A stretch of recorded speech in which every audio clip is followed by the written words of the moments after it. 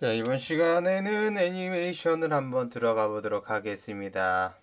자, 일단 Alt W를 눌러서 제가 진자 운동을 할까를 하다가 그냥 공튀기기 제자리 공튀기기를 한번 해보도록 할게요. 제자리 공튀기기도 어, 뭐 그렇게 쉽지는 않으니까. 근데 이제 애니메이션 하기 전에 막 그런 거 있잖아요. 유튜브에 뭐 애니메이션 기본 원리, 뭐 규칙, 법칙 해서 뭐 11가지, 뭐 15가지, 13가지 막 다양하게 있는데 그런 거는 미리 사전에 꼭 꼼꼼히 챙겨 보고 나서 시작하시는 거를 추천드리겠습니다. 자, 일단 애니메이션 활성화 키를 N키를 눌러서 키고요. 그 다음에 Create 가서 공 하나를 만들어 보겠습니다. 공 하나 만들고 천천히 할 테니까 그대로 따라하세요. 색깔은 뭐 아무거나 하시던 하셔도 됩니다. 저는 빨간색으로 하겠습니다. 빨간색을 하고 이 지금 화면 안에 화면에 보이는 이 초록색과 빨간색과 파란색 이것을 피봇이라고 하는데 이 피봇이 딱 센터에 없기 때문에 센터로 가져오기 위해선 우측 하단에 있는 이 수치값을 다 0으로 만들어 주시면 돼요. 직접 써서 해도 되지만 그냥 우측 클릭 이 화살표에 있는 거를 우측 클릭하면 0으로 됩니다. 000으로 해서 센터로 불러오고 지면에 파고들지 않게 위로 당기고요. 그 다음에 바닥을 볼 수 있게 박스를 가서 박스 하나 가서 바닥을 한번 만들어 줄게요. 바닥을 만들고 대충 이렇게 두고 Perspective P를 눌러서 입체로 본 다음에 여기서 이제 애니메이션 작업을 하는 겁니다. 자 이제 이게 준비 단계고요. 이제 시작을 하면은 자 공이 이제 위에서 떨어지는 걸로 시작을 할게요. 아 지금 바탕화면에 그라데이션이 들어갔는데 이러면은 약간 시선을 좀 빼앗아 갈 수가 있으니까 이거를 solid로 바꾸도록 하겠습니다. 에 뭐냐 자 여기 Front가 있고 Realistic이라고 써 있는데 여기를 우측 클릭을 하고 Viewport Background Solid Color로 바꿔주시면 이렇게 단색으로 돼서 좀 눈이 덜 아파요. 네, 덜 아프고 집중도 잘 되고 자 그래서 이 상태로 시작을 할게요.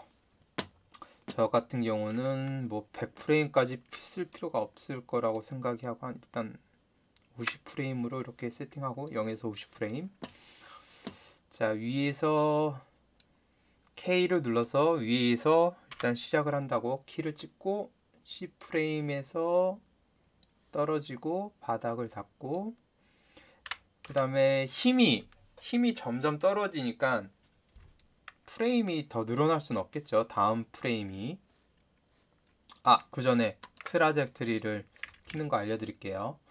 Alt 누르고 마우스 우측 클릭 그리고 바탕화면에서 클릭을 하면은 Show Trajectory Toggle이 있어요. 요거를 클릭을 해서 이제 동선 동선을 볼 수가 있습니다. 그래서 중요한 게 알아야 될 게 여기 보이 보면은 하얀색 점이 있죠. 하얀색 조그만한 점.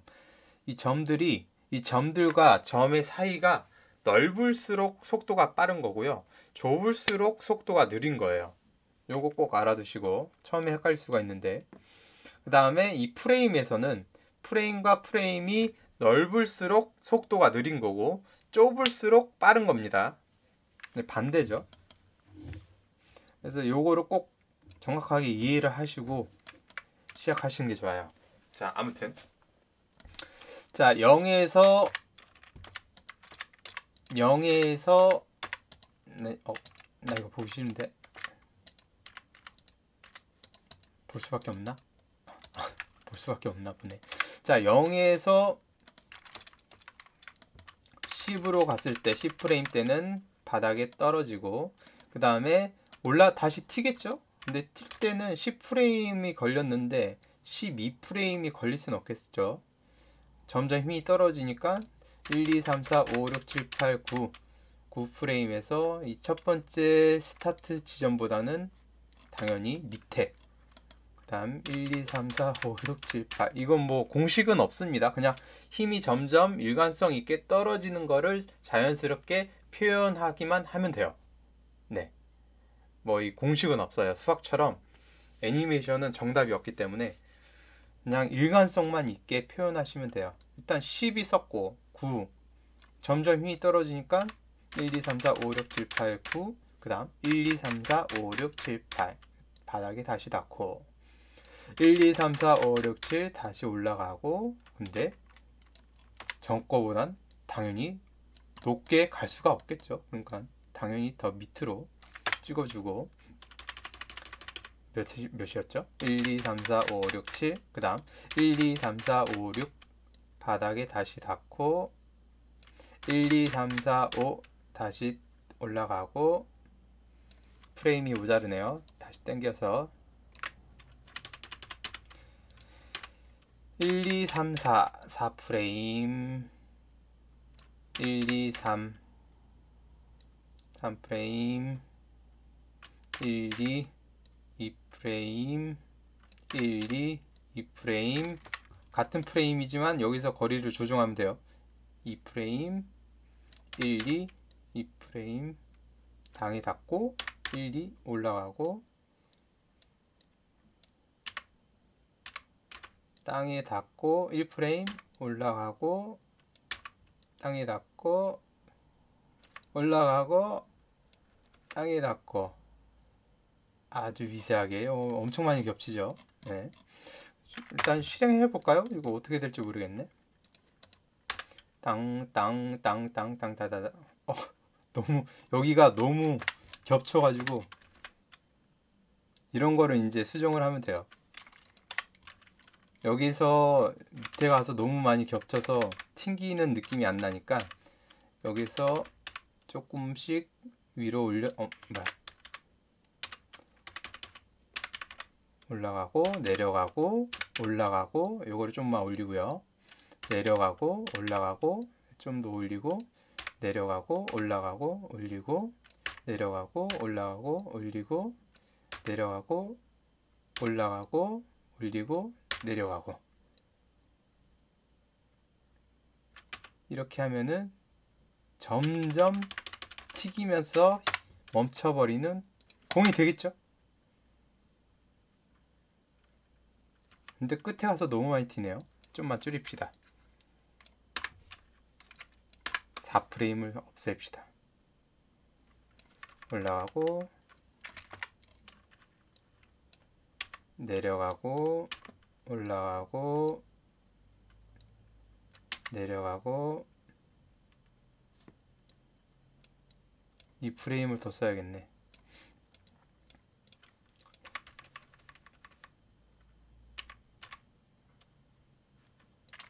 플레이 한번 해볼까요?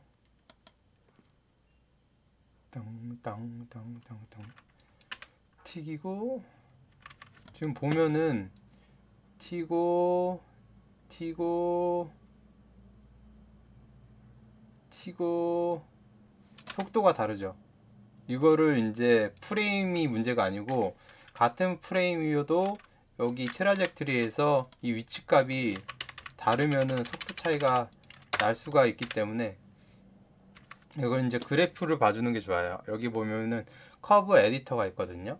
눈으로는 한계가 있으니까 Curve Editor가 보면은 왼쪽에 X position 위치값, Y 위치값, Z 위치값이 있고 그 다음에 rotation은 회전인데 회전은 우리가 준 적이 없기 때문에 position만 봅시다. position만 보면은 이제 공이 이렇게 튀는 거예요. 로테이션 지금 우리가 에, Z값으로만 위아래만 위치값을 줬기 때문에 Z값 그래프에서만 이렇게 있는 거고 자 요거를 이제 점점 다듬으면 됩니다.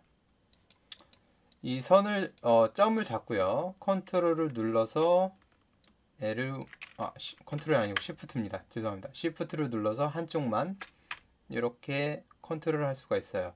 그래서 이렇게 뾰족하게 만들고 여기서는 체공 시간 체공 시간을 주기 위해서 이렇게 원만하게 조금 둥그렇게 만들고요. 중간으로 올 수 있게 이렇게 세팅을 하고 여기도 다시 Shift를 눌러서 아 언두는 컨트롤 Z입니다. 뭐 이건 다 아실 거예요. Control Z, Control Y 이전 단계, 다음 단계 그래서 좀 완만하게 다시 만들어주고 여기도 체공 시간 체공 시간 공중에 떠 있을 때 좀 머무는 시간이죠. 그래서 공이 이렇게 튀었을 때 아 이게 화면이랑 같이 봐야 되는데 아, 아.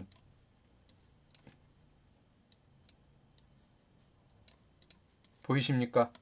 공이 답답해. 공이 이렇게 할게요. 이게 이제 땅이에요. 땅에 닿고 이렇게 올라갔을 때 여기에 머무는 시간이 이제 아 이거 여기가 넓을수록 이제 머무는 시간, 즉 채공의 시간이 길어지는 거고요.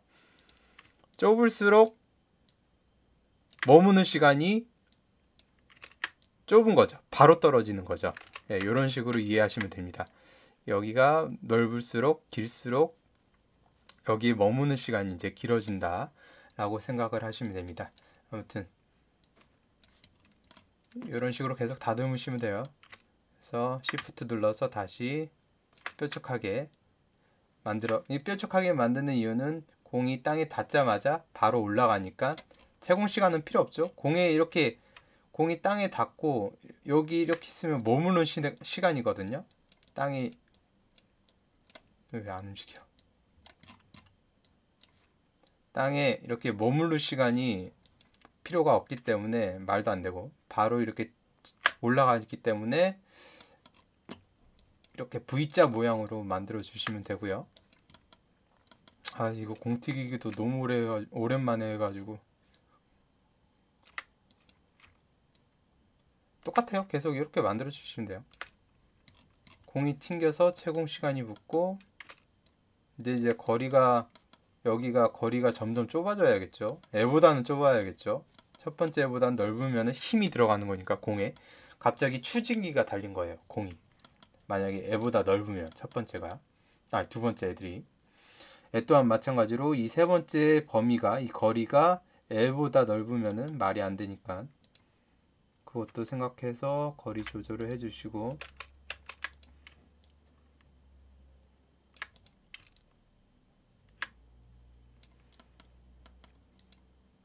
채공 채공 시프트 시프트 여기 채공이 너무 길다. 조금만 작게 하고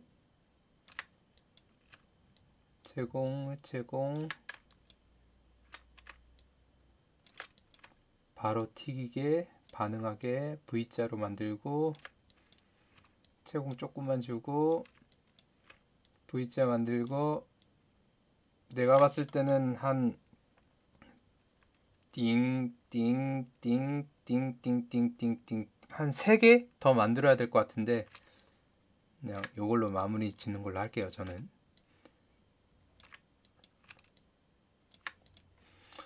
자 이렇게 하면은 아까랑 느낌이 완전 다르게 될 거예요. 좀 공 느낌이 날 겁니다. 플레이를 해보면 땡땡땡땡땡땡. 아우 좀 갑자기 무거워졌죠 끝에 가서? 네, 이런 게 이제 일관성이 없는 건데 공이 여기까지는 괜찮아요 근데 여기서 갑자기 무거워져 갑자기 공에 무게가 생겼어요 네, 요런 게 이제 조, 주의해야 될 거 조심해야 될 겁니다 그래서 이 무게감을 빼기 위해서 이제 다시 애니 작업을 수정 작업을 하는 거죠.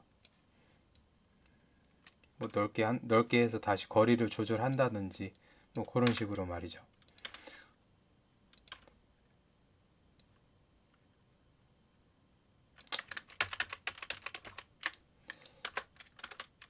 이거는 지금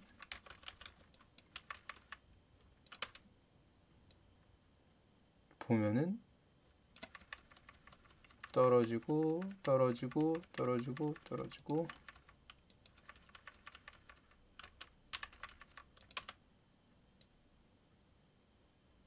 여기가 문제네요. 네, 여기서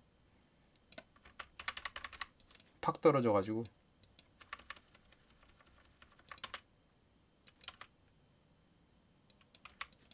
여기에서 사이를 벌리면은 프레임이 늘어나면은 속도가 느려지니까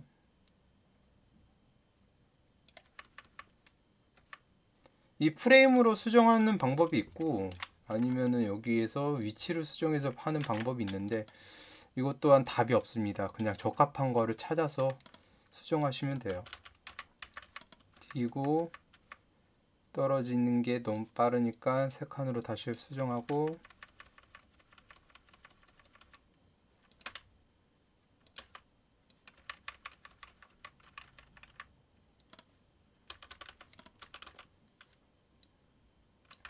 땅에 닿고 올라가고 땅에 닿고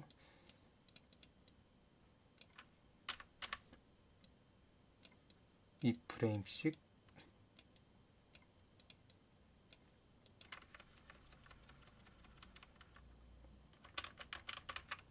닿고 올라가고 닿 닿고 오케이 됐나? 띵띵띵띵띵띵 아직도 약간 일관성이 없는데 이거를 디테일하게 수정하면 시간이 좀 걸리니까 일단 이런 식으로 이제 다듬어 주면 된다라고 생각을 하시면 됩니다.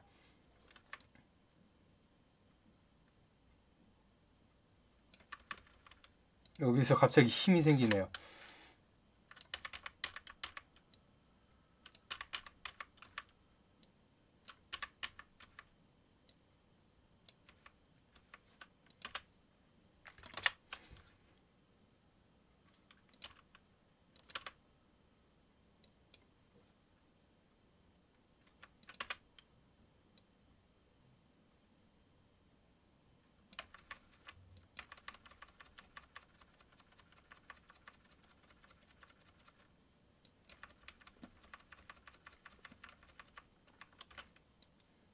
세 번째. 여기가 너무 높은 것 같은데?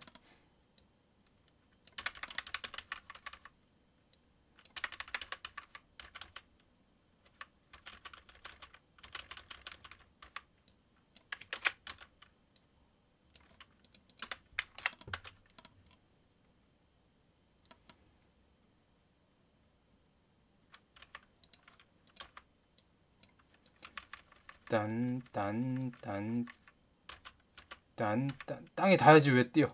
땅에 닿고 좀 올라가고 땅에 닿고. 뭐이 정도면은 그렇게 어색하진 않죠. 그래서 이게 지금 이 프레임을 사용해서 속도를 조절할 건지 아니면은 그, 그 위치에 찍혀져 있는 키, 이 키를 이걸로 이제 움직여서 이 사이사이의 속도를 조절할지 그거는 이제 본인이 선택을 하시면 됩니다. 어떤 게 더 적합한지 아니면은 요걸로 봐가지고 수정을 하셔도 되고요. 예.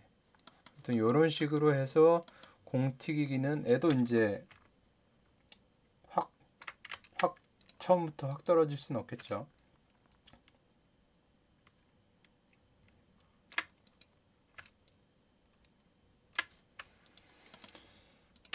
똥똥똥똥똥똥 뭐 뒤에서 조금 더 튀어도 상관없을 것 같은데. 아무튼 이런 식으로 해서 제자리 공튀기를 하시면 됩니다. 아, 저도 너무 오랜만에 한 거라 거의 이거는 거의 한 3년 만에 하는데요? 3년 만에 하는 거라 어, 좀 버벅거렸는데 trajectory를 끄고 싶으면은 Alt를 누르고 다시 클릭을 하면은 없앨 수가 있고요. grid를 없애려면은 G를 눌러서 없애면 됩니다. 여기에서 이제 스케일을 줘서 또 좀 더 말랑말랑한 느낌을 낼 수가 있는데 땅에 닿기 전에 뭐 이렇게 닿고 다시 늘어나고 웬만하면 하지 마세요 근데. 그냥 이럴 수도 있다라는 거를 보여주기 위해서 다시 정상 크기 정상 크기를 불러오고 네 요런 그냥 요런 느낌? 빠뽕 몰캉한 느낌? 네 요런 것도 표현할 수가 있는데 이런 거는 하지 마시고요 어, 이렇게 해서 공튀기기 하고 다음에는 앞으로 공튀기기를 할까요? 네, 앞으로 공튀기기를 한번 해보. 근데 똑같은 원리라 일단 기초 과정 공튀기기는 여기서 마무리하도록 하겠습니다.